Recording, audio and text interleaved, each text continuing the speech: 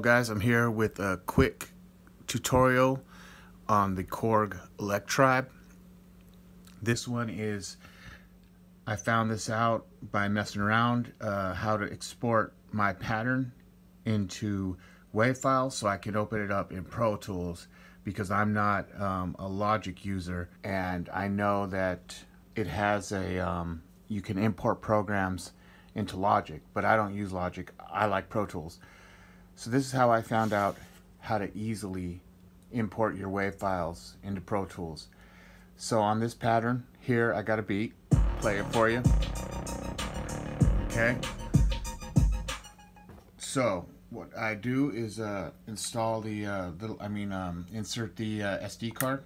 Okay, and then you go into your menu here, this uh, menu button, and you go to data utility so hit enter again to enter your data utility.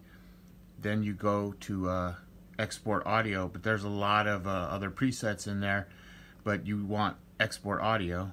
You hit enter and then see there it says Ableton live set.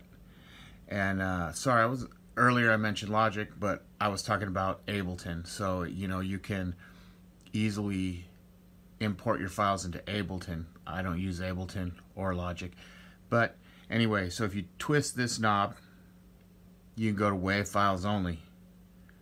So then you hit that, enter, and now it says working. And what it does is goes through each pad and is exporting each pad that has the sound that you used um, onto a folder onto the SD card.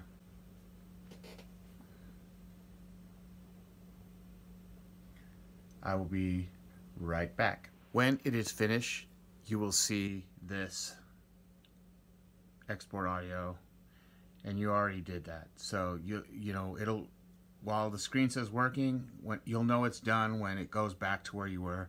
So you hit exit and you're back to your program. And now I will show you how to open that up in Pro Tools. One thing I didn't mention earlier is you will need an SD card and I am I'm a Mac user. I have MacBook Pro. This is a 2017, I believe. Um, it does have the uh, SD card slot on the side. So if you don't have an SD card slot, you're going to have to get an SD card reader, uh, which attaches to your USB. But another trick I found too, sometimes Pro, uh, the Mac doesn't like to read these uh, SD cards. So you put this tab here right in the middle and I noticed that um, it'll read the, the card. So I'll insert this into my Mac. Okay, and there it is. And I'll actually, hold on, let me cancel this. Another thing with Pro Tools is that it only opens uh, your session from wherever it pulls those WAV files from. See, so, so now I have it on the desktop. If I move that folder and I try to open that session again, it'll say missing files and it'll ask you if you want to manually find or automatically find the files and link them. So I am going to put this in my uh, project that I'm working in. This is my current folder. I will rename that to Elect Tribe Beat 2. Go back to Pro Tools. So create a new session. And let's just call this one um, Beat 2 Elect, Electribe.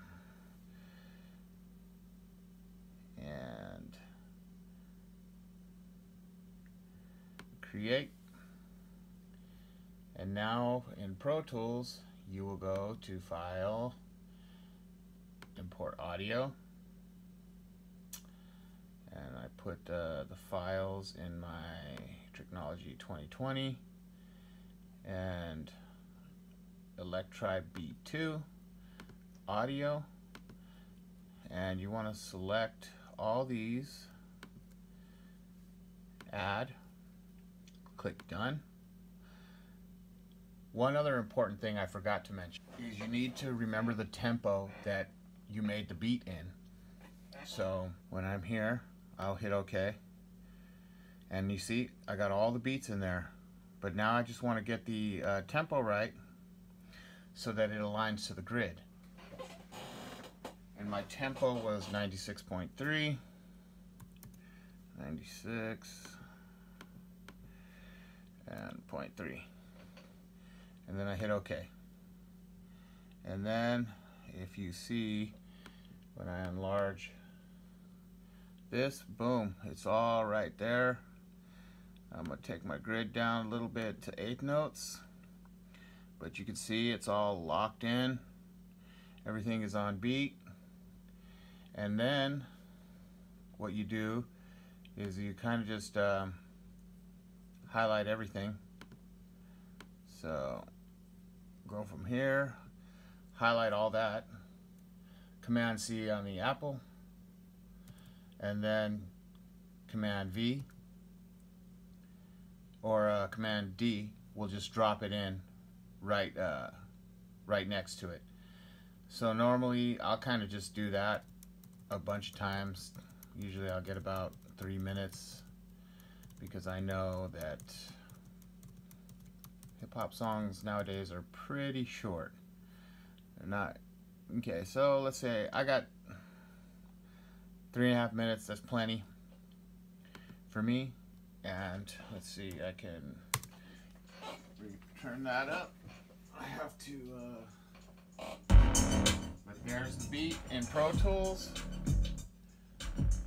there's my beat in Pro Tools and that process literally took me under five minutes so uh, before I was doing it through the MIDI ports in the back and I was able to only do two instruments at once I do you know and and then if you're doing if you want to do them all in stereo, I was just doing one pass of each instrument, and so you'd have to go. You know, if I had ten instruments there, it'd be ten passes. But now, I figured this out.